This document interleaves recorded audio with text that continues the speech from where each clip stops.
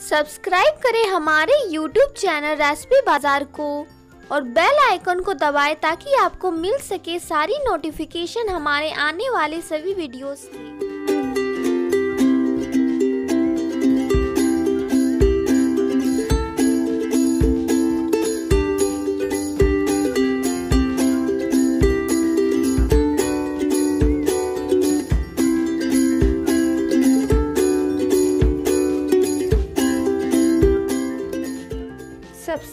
Mixie की jar में कटी हुई प्याज,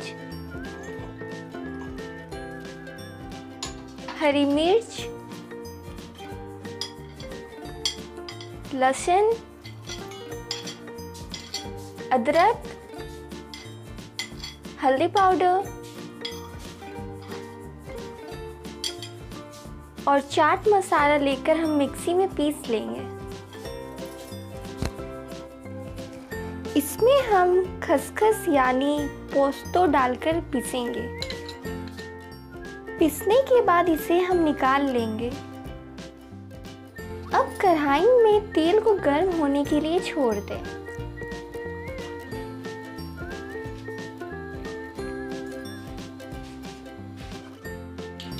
तेल गर्म हो जाने के बाद इसमें हम पनीर को भून लेंगे।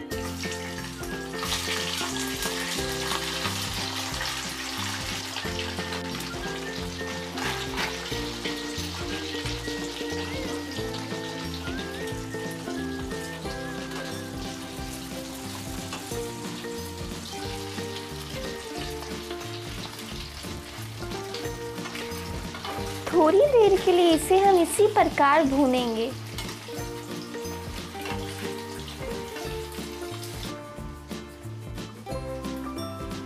भून जाने के बाद इसे हम एक प्लेट में निकाल लेंगे।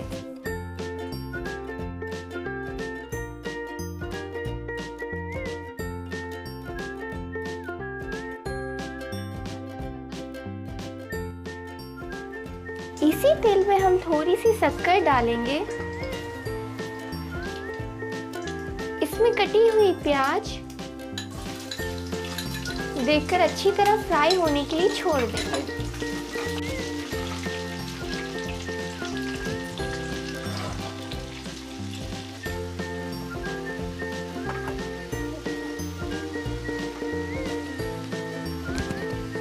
प्याज फ्राई हो जाने के बाद इसमें हम पोस्तों और मसाले के पेस्ट को डालकर अच्छी तरह फ्राई कर लेंगे।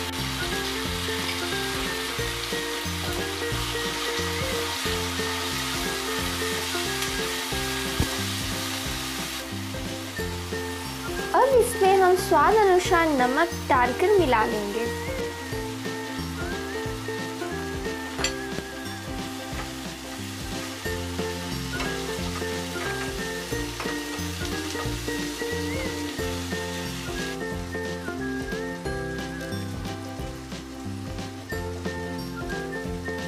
अब इसमें भूंजी हुई पनीर को डालकर मिला लेंगे।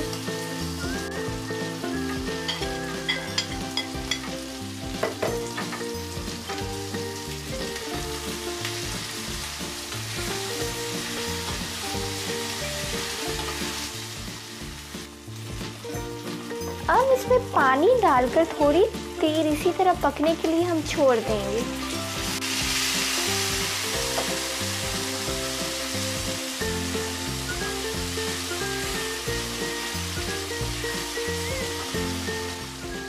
अब ये अच्छी तरह से पक चुकी है, इसे हम एक प्लेट में डाल लेंगे।